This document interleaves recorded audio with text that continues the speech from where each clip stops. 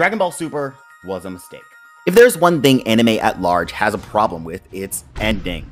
Few anime actually get a proper ending, whether that is due to the production not finishing the entirety of the manga, the mangaka not being able to finish their work for health reasons, or just an anime being a really long story. There are not many anime out there that end.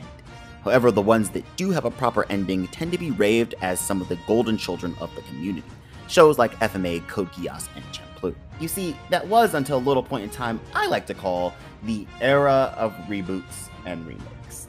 To put it simply, the era of reboots and remake is the act of the entertainment world remaking or continuing an already established franchise to either cash in on the nostalgia factor or. Actually, that's kind of it. I can't think of any other reason to bring back a show that ended. But my problem is not generally with remakes. As long as the remake sticks to the original source material and only seeks to elevate it, then I have no complaints. The recent Fruits Basket remake is a perfect example of a remake done right. My problem is with sequels and continuations. The second way this era of reboots and remakes tends to cash in on nostalgia. Surprisingly enough, my favorite anime of all time is Dragon Ball.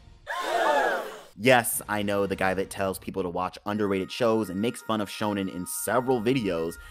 Favorite anime is the king of battle shonen itself, like the most recognizable anime in the entire world, arguably, Dragon Ball. Yes, I am a huge Dragon Ball fan, and I say this with all the love in my heart for the franchise. Dragon Ball Super was a mistake.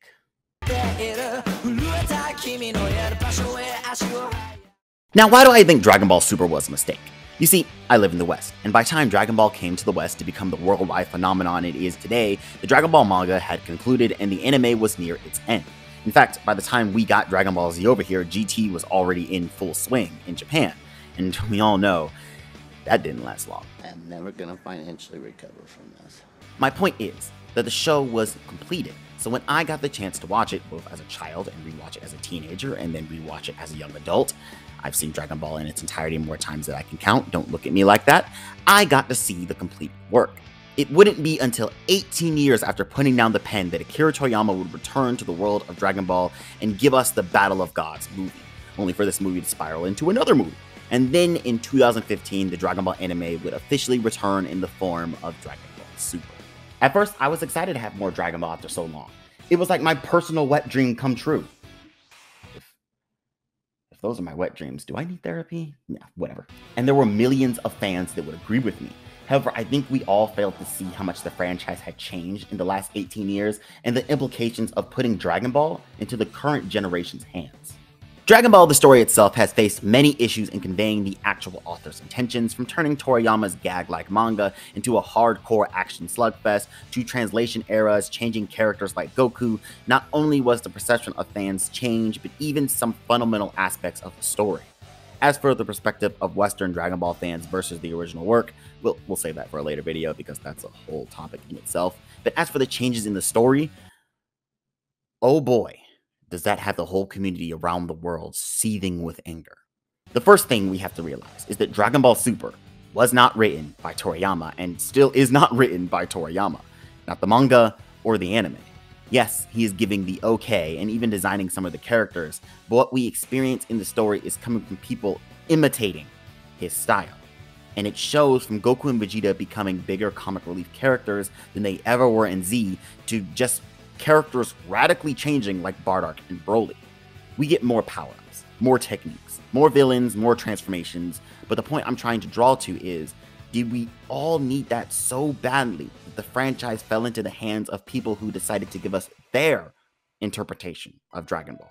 Not saying that the writers of Super and Toyotaro are doing a terrible job, but when you look at the wider story of Dragon Ball Super, and it feels like its own separate thing from the rest of the franchise, isn't that a problem?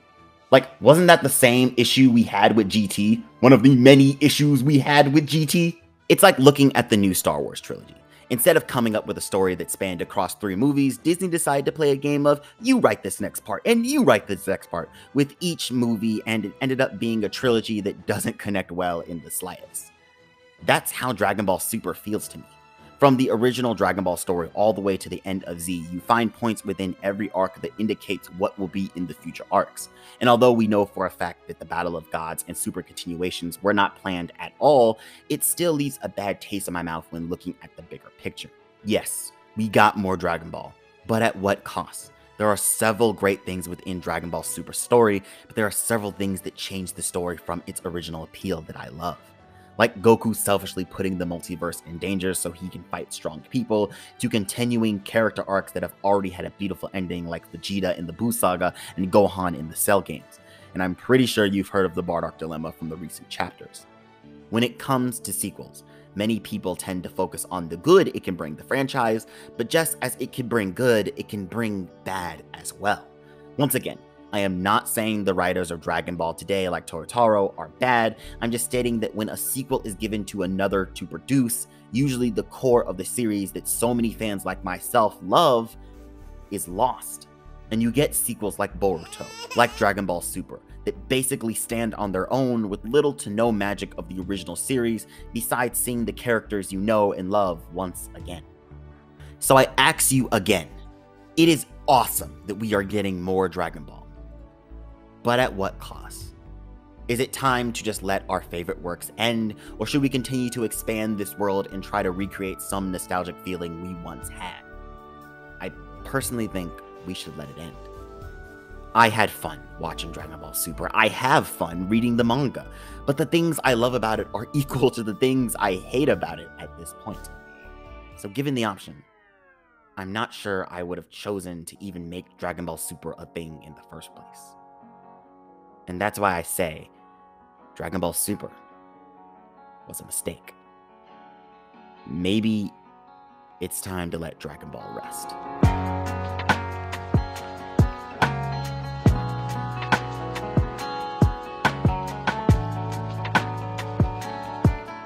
I know this is a very hot take, but I'm curious to see what you guys think in the comments below.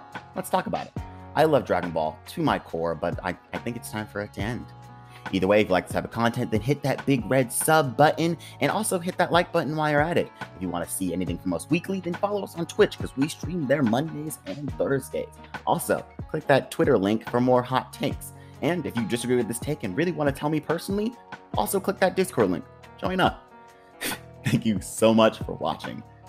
And as always, my friends, I am RJ Lane, and this has been On the Rise.